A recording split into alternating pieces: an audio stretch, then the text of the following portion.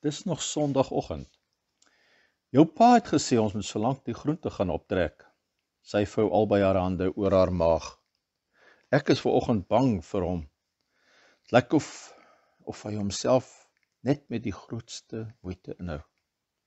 Ek raak liggies aan haar arm. Jare terug het 'n navorser 'n proefneming met 'n klomp rotte gemaak. Hulle sê rotte het die laagste vorm van gemeenskapslewe maar hulle kieselmaats vir lewenslank. Waarvoor vertel jy my nou die storie? Wag, ek hou my hand in die lug. Die navorser hok hulle toe almal saam en onderwerp die spul aan hoë pulsmusiek en skerp ligte sodat hulle natuurlike dag en nag patroon verval. Sy sug verveeld. Ja, wat gebeur toe? Daar raak die gemeenskap toe heel beserk. Paartjies los mekaar, Hulle raak aggressief, selfs kannibalisties. Selfs al sin vir geslagsverskille raak te mekaar. En hul dieet was seker ongebalanseerd. En dis hoekom ons moet gaan groente optrek, nê. Nee. Sy haal ek hartnip uit haar sakkie en bind haar krulle saam terwyl sy vir my skewe mond trek. Maar om haar oë is die eerste tekens van 'n glimlag. Nee, sussie, jy mis die punt. Ek staan terug sodat sy voor my die tonnel kan ingaan. Die meter wys dat die ligte steeds 2 uur lank brand en dat dit oor 'n halfuur sal afskakel. Jarvis is beroof van dit wat voorheen deel van hom was. Mense word anders wanneer hulle onderwerp word aan vreemde omstandighede. Ons ouers is deel van 'n geslag wat oplossings moes vind om die voortbestaan van Diana te kon verseker. Ek haal my skouers op. Wie weet, die verbod op musiekvryheid was dalk 'n direkte uitvloeisel van die rotte eksperiment. Ja, professor weet als, maar jy vergeet een ding. Sy loop met haastige tree voor my uit. Haar haar stert maak permante geswaaye oor haar agterkop. My pa en jou pa was aan dieselfde omstandighede onderwerp. Hoekom kan my pa nie ook doen wat reg is nie? Maar jou pa doen wat hy dink reg is, sê ek vertroostend. Maar dit lyk nie of sy my hoor nie. Ek haal haar in toe sy by 'n akker tot stilstand kom en met 'n kennersoog oor die fyn ruigte kyk. Die klompie is gereed vir die mark. Aan haar stemtoon weet ek dat sy nie bereid is om verder oor haar pa te praat nie. Ek nik. Die akker langs aan is reeds geoes.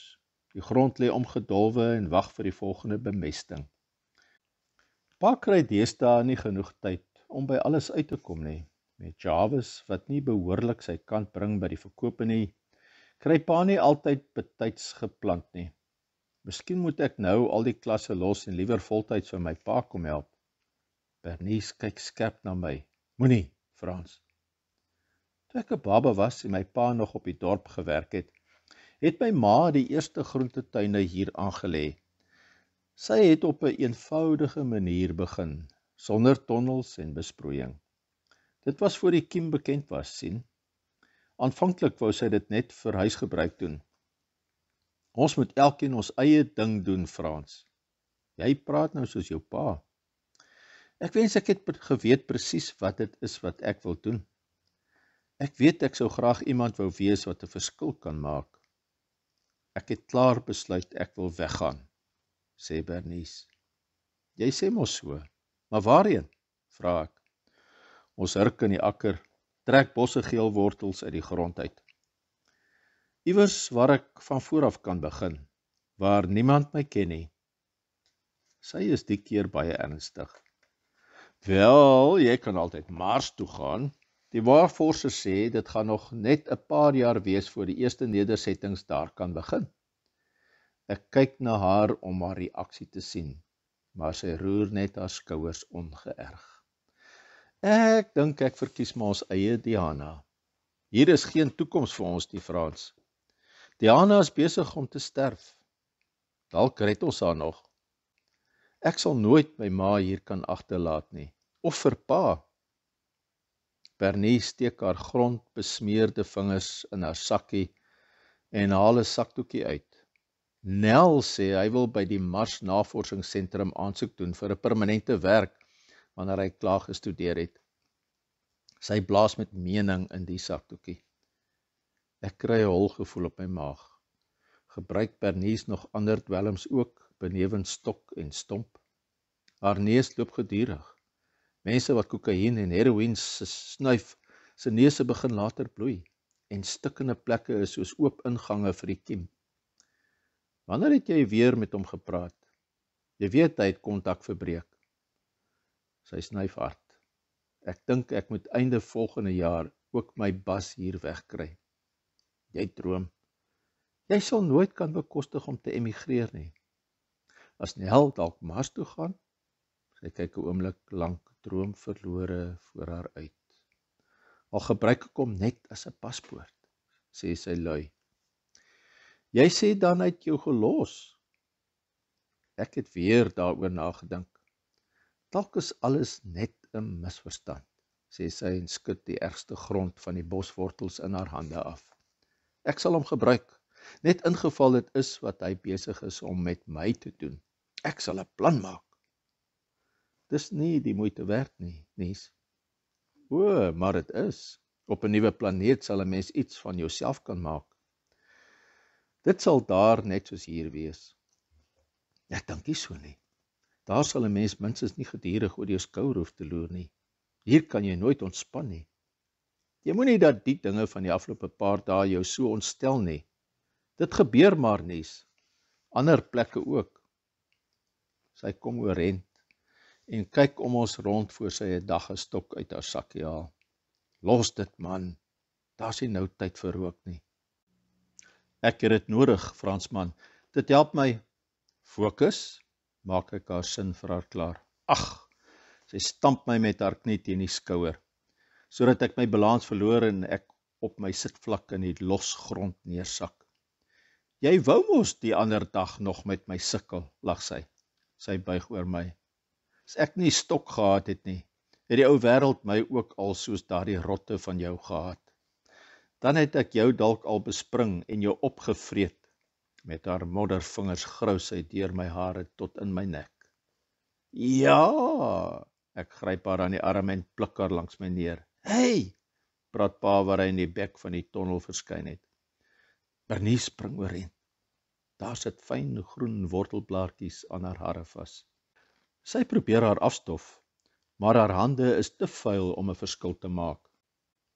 Pa sit die krat met die groen bone naby die opening neer en kom nader gestap. Hoe ver is julle? Ons moet begin met die laai van die bakkie. Sy wil weggaan, sê ek en bylye na Bernice. Pa kom staan teenoor ons. Ja. As die nedersetting op Mars begin, wil ek een van die eerstes daar wees. In ons staat was dit vroeër Johannesburg toe of New Delhi nou. Toe Engeland of Amerika, later Eurasie. Wat dink oom Dirk? Dis seker maar in die aard van elke jong mens. Frans wil nie gaan nie, sê sy vermakerig. Pa kyk na my. Ek kan die uitdrukking in sy oë nie pyl nie en ek begin sommer weer wortels uittrek. Bome word hoog en sterk omdat hulle groei waar hulle wortels hulle anker dies, hoor ek hom antwoord. Dankbaarheid teenoor hom word 'n warm kombers om my.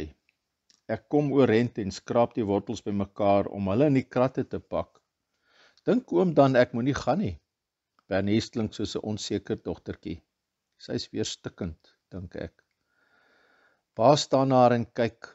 Die hulpeloosheid lê oop en bloot in die buiging van my skouers. Sy groot hande hang stil langs sy sye. Ek het altyd gedink niks sal my pa onderkry nie.